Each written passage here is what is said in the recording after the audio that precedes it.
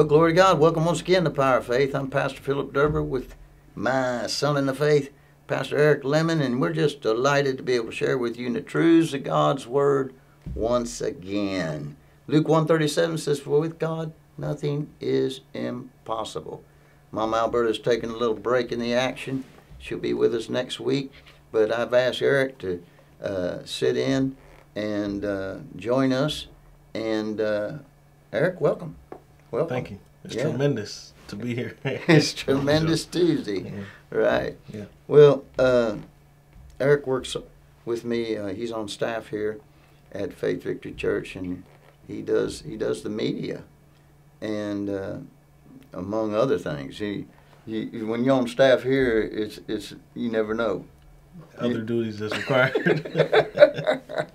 you just never know what you're going to be doing because uh, we're in this building project, Mhm. you know, and and uh, we got uh, the front closed up and Mhm. both sides closed up now, and Mhm. moving moving right along. So uh, that's a wonderful thing. We're uh, for those of you that may be watching for the very first time, we're teaching out of a book me and Mama Alberta wrote years ago called Awake to Righteousness, and it's about new creation reality. Uh, if you don't discover what has happened to you when you got born again, you're going to have a difficult time uh, in this world. And I'm, you know, as a pastor, I'm around a lot of Christians, not just in my my church, but in other places where they're struggling. And when I try to uh, tell them about, uh, they need to understand who they are in Christ Jesus, they look at you like you you you said some strange doctrine, you know. And uh, the reason they're not being taught uh, because uh, the pastors don't know about it, and uh, you know religion has c- covered up this powerful truth. So uh, Jesus said, "Except your righteousness exceed the righteousness of the Pharisees, you ain't gonna have no part in me." All right. Oh, now how you gonna do that? Them them people were, you know, seven days a week, you know, uh, reading scripture and in the synagogue. Mhm. But see, you can have all those works going on for you, but if you don't have this inside, that reality. So, uh, there's a number on the screen, and you'll see it from time to time. Uh, our prayer line that's available 24 hours a day, seven days a week. Faith filled, spirit filled people. You know, people have been calling that line. Yeah. And, uh, you know, that prayer starts things, prayer ends things. And so, Eric, I'm glad you're with us uh, this whole week, and and uh, you know, let's just get into this Sure. thing. It's July 28th. Yes, sir. Galatians 2:19 is the scripture for today. It says, "I through the law am dead to the law, that I might live unto God." This verse puzzled me for quite some time until I understood Father God's righteousness or right standing. Let me explain it the way God showed it to me. When a woman is pregnant, she feeds her baby inside her womb through the umbilical cord. Whatever mom eats nourishes the baby.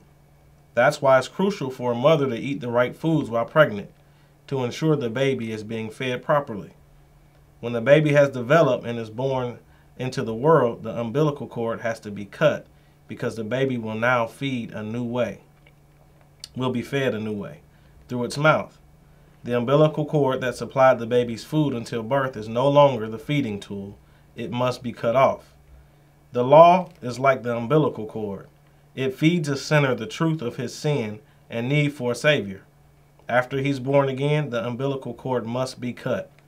So we could say that verse this way I, through the umbilical cord, am dead to the umbilical cord that I might live now, by, live now by the milk and meat of God's Word. What once fed and sustained life is no longer the avenue for growth. So awake to righteousness, let God's Word feed you daily, and realize you have a belly button. what a powerful truth that is. You know, I remember when the Lord showed me that years ago, because I through the law I'm dead to the law. Mhm. Uh,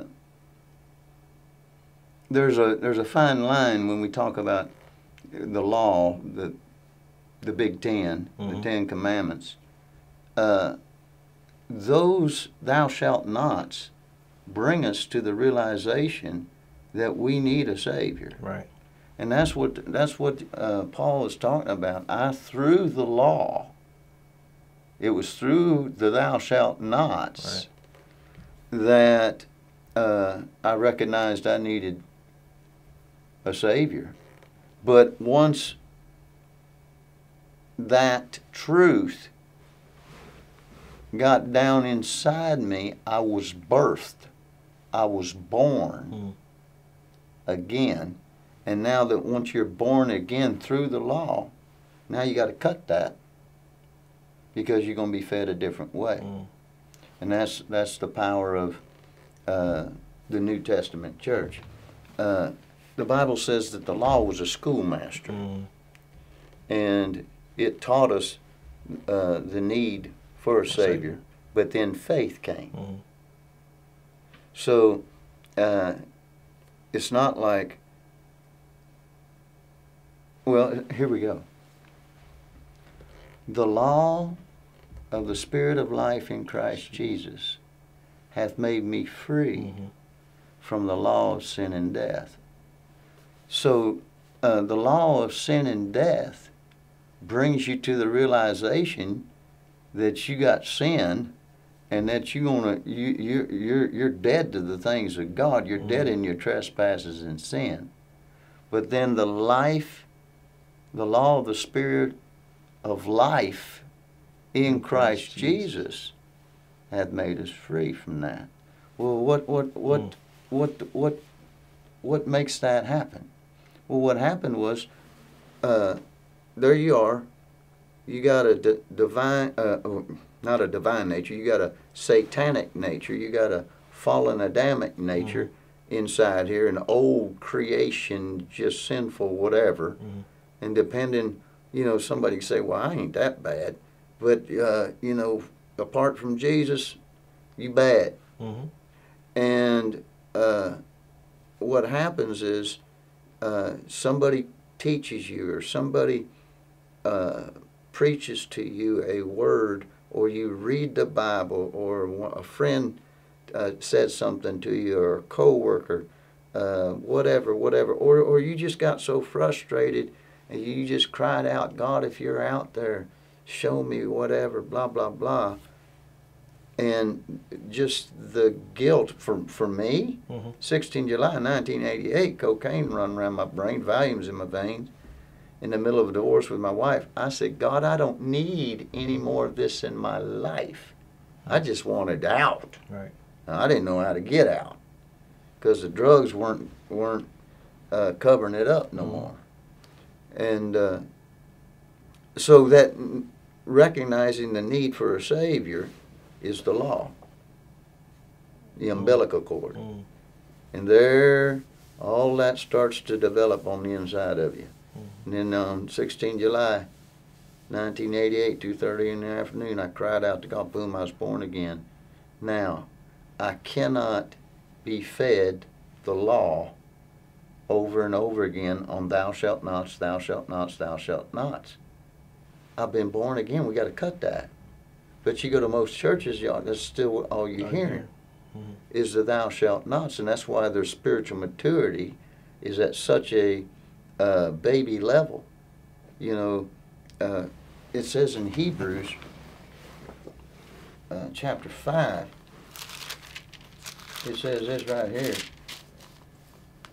It says, For everyone that uses milk is unskillful in the word of righteousness for he is a babe.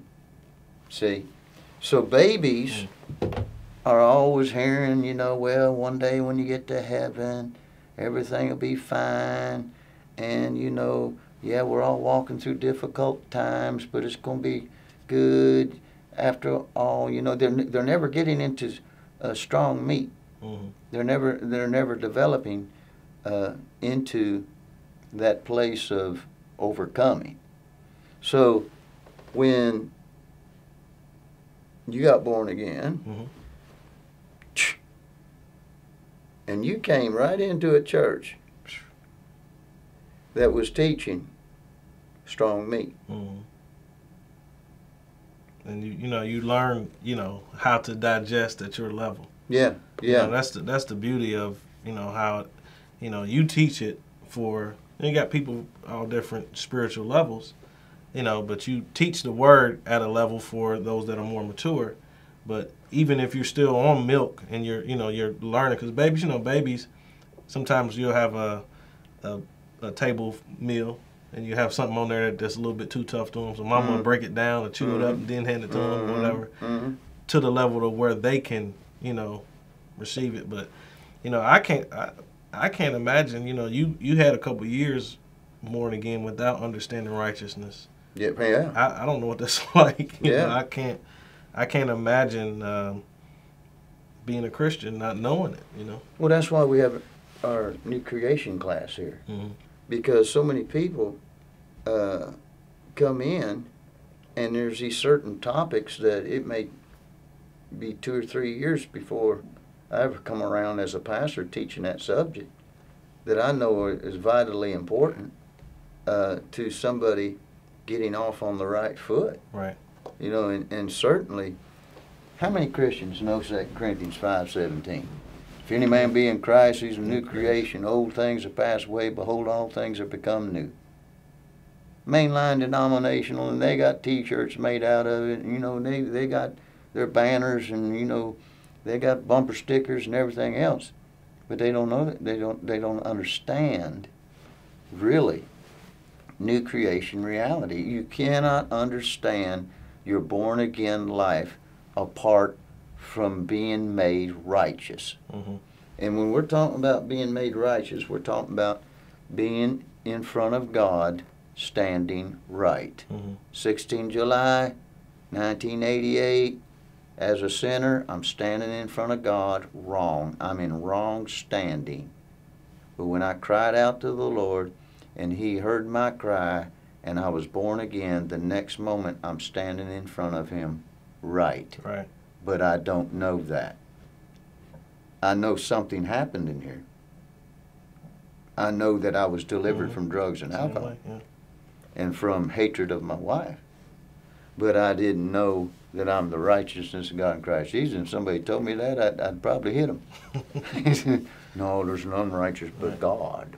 You know, and all that, because I was raised that way. See, the value of this though is that, you know, when somebody is a Christian, you know, trying to live right by, you know, keeping the law in front of them, you mm-hmm. know, So they know what they're not supposed to do, so they're trying to do that way. Mhm. It's no different from a baby, you know, the baby's separated now from the umbilical cord. Mhm. You know, you can't draw nourishment and strength to, you know, live and sustain that life Mm. no longer from that source. So, you know, as a Christian, you know, we trying to if you're trying to live right by the law, you're gonna fall short every time. There's, You know, there's no sustenance. There's nothing there. you're Yeah. trying to draw from a, a source that's not designed to sustain your life no more. Well, it's designed to show sin. Mm. It's not designed to show uh, your new identity, Mm. that you're righteous.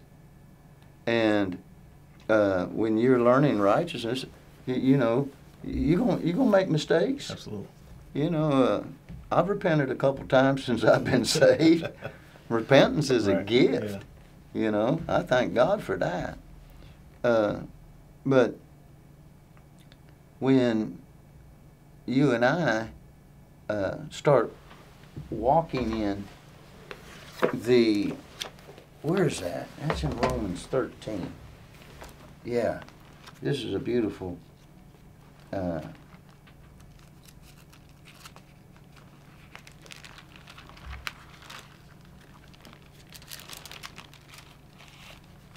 I gotta find this. This is just. It says here, Romans 13, verse 8. Owe no man anything Mm. but to love one another, for he that loveth another hath fulfilled the law. For this, thou shalt not commit adultery. That's one of the big tens. hmm Thou shalt not kill. Mhm. Another one. Thou shalt not steal. Thou shalt not bear false witness. thou shalt not covet, and if there be any other commandment, it is briefly comprehended in this saying, namely, Thou shalt love thy neighbor as thyself. Love worketh no ill to his neighbor. Therefore, love is the fulfilling of the law. Mm. Jesus said, I didn't come to destroy, destroy the law. Mhm. I come to fulfill it. Mhm. And uh, how he fulfilled it, he walked up to the Big Ten. He's the only one that could say, I kept that one, I kept that Mhm. one, all the way down through there. I kept every one of them, and he fulfilled it. Mhm. So when you and I and, and anybody that is born again accepts the truth of righteousness, we have the power now through the love that's been birthed in our new creation to I kept that one, I've kept that one, I've kept that one. Mm. Isn't that powerful? Very, yeah. See? And but before the love came, you could sit there and be a good person all you want to. You could be an outstanding honor this, uh, you know, uh, service member, an honor graduate, and and just uh, held up high in, in, in esteem in the community, and Mhm. so on and so forth, and still not have that love, Right. right? Mhm. And, and that, that love is agape. And the only way you get agape love in here is by being born again. Mm.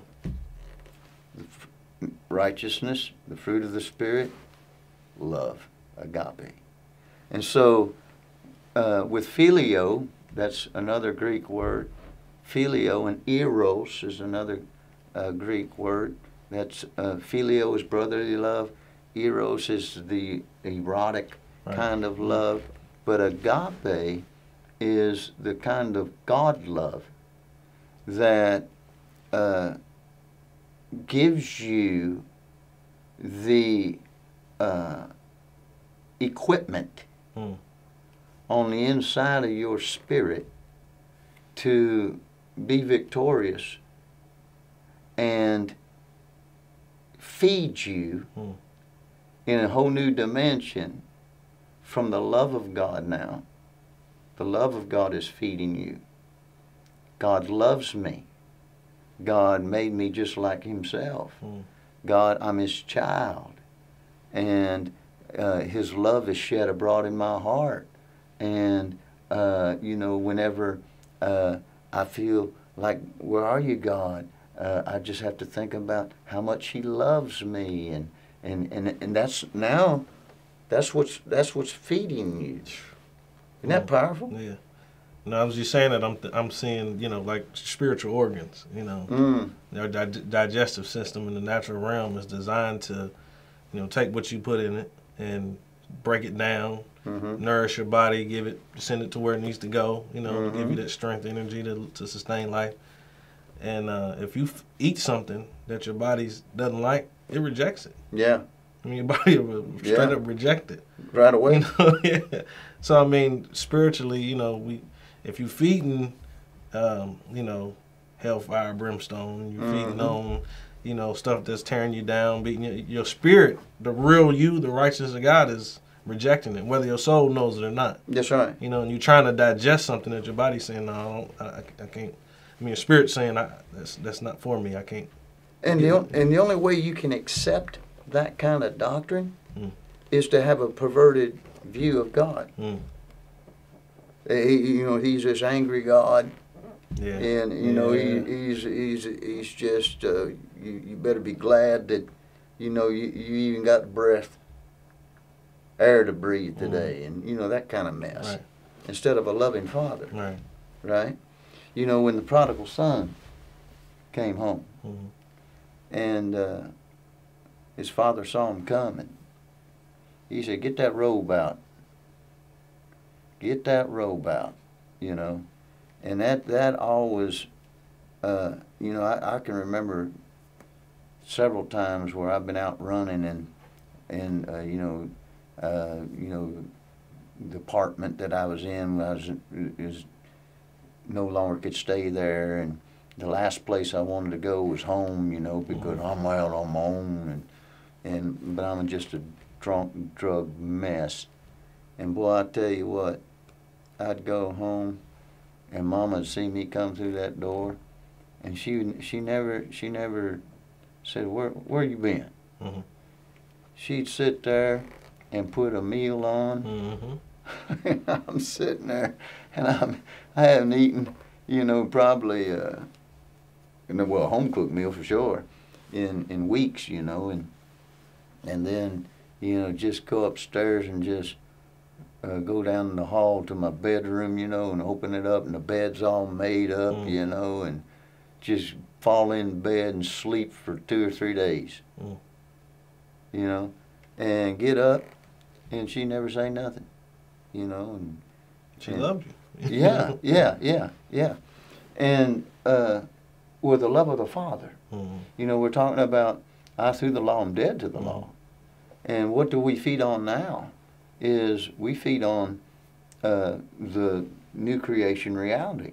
The new creation reality is God loved us so much that He sent Jesus to take all of the curse Mhm.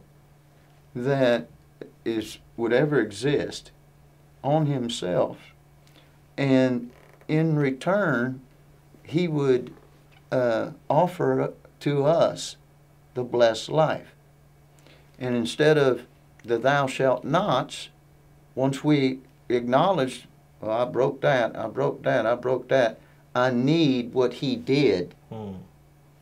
And I accept that. Now that umbilical cord is cut, and now God's going to feed me by His love. And one of, one of the ways is you put on that righteousness. Mhm. Put it on. Mhm. Well, I don't feel Don't- worthy of it. I, I- I get that. Right. I get that. You know, I remember uh, there was a little uh, Marshallese kid that we almost adopted out there. His name, Hmm. his name was Benjamin. Hmm. And uh, I remember the first time uh, we got him some clothes, and he never he never had a shower. You Never wife- had never had a shower. Didn't didn't didn't you know, and you know. So I showed him how to take a shower. He he was he was like freaking out on it, right? Hmm. And then you know he come out of the shower, I'd dried his head, you know, and and uh, put them new clothes on him and put some goop in his hair. Mhm. right? Well, he looked at he looked at himself in the mirror, you know, and, and he could he, he he didn't know how to accept that. And and you know he'd go out he'd go out of our place and he'd come back and he looked like he did before off the street. Because he Mhm. could he, he couldn't he didn't know how to uh, identify that Mhm. with that right. But Ma, Mama Alberta kept working with him, and finally he got to where you know, hey. It's like Mephibosheth, you know. He, Yeah. he, he didn't know how to sit at the king's table. right. You know, he said, I'm a dead dog. You know, who am I? You know, I'm not worthy of it. Yeah. And and all this is provided. yeah. all this is provided for us if but you know he prepares a table before us Mm. in the presence of our enemies and and we got to pull up to the table and, and sit there and say wait a minute pass the love please Right. I, ne- I need a big dose of God's love I don't need I don't need to hear the thou shalt nots Right. I need to hear the thou shalt Mm. and and now the thou shalt nots are they're, they're there Mm. to bring people into the kingdom. You know, we're not denying that. The, but the law of the Spirit of life in Christ Jesus had made us free Mm. from the law of sin and death. Eric, I want you to share about that CD again right there. Okay, yeah. Uh, this is one of my uh, CDs here. It's called Whole Heart. Pastor Phillips on this one.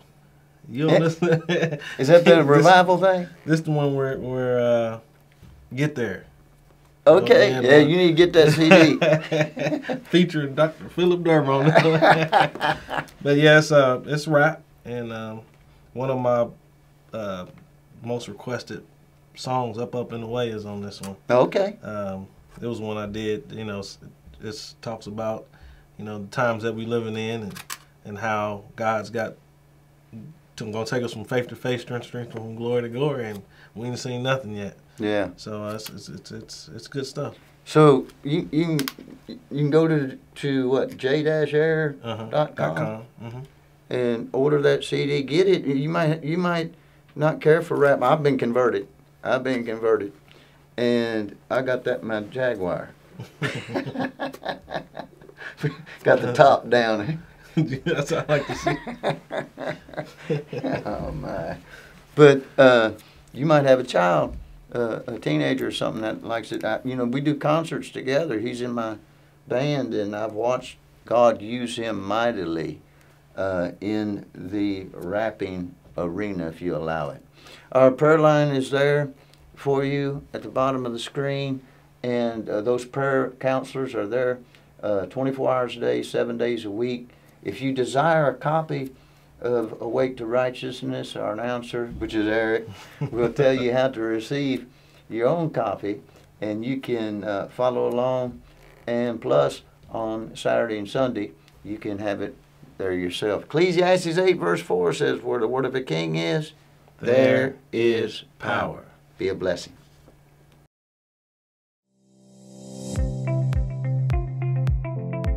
Awake to Righteousness with a daily devotional by Doctors Philip and Alberta Derber. In this powerful devotional, you'll learn the different aspects of the righteousness or right standing that Jesus has provided. Get the reality of what Jesus has done deep down inside of you to the point that every day you awake to righteousness. Awake to Righteousness includes 365 daily devotions, accompanied by a master key verse and a scriptural meditation for every day of the year. Get your Awake to Righteousness devotional today. You can order online at our website or give us a call at 502 875 7886.